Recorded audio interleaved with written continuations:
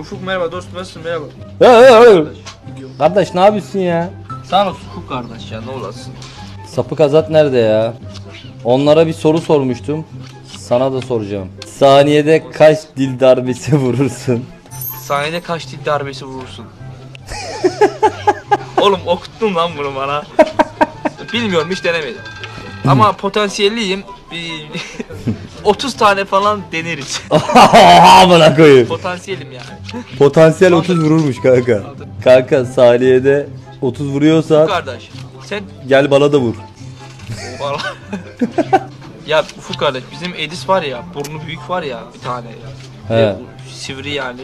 He. O burunla çalışıyor kral. Direkt burnunu mu sokuyor amına koyayım? Evet. Adam işi biliyor kral ya.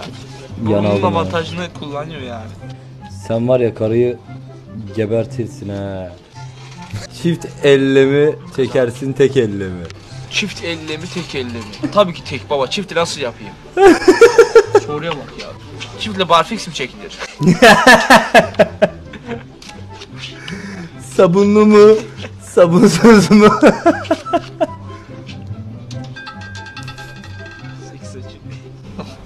La bir git ya.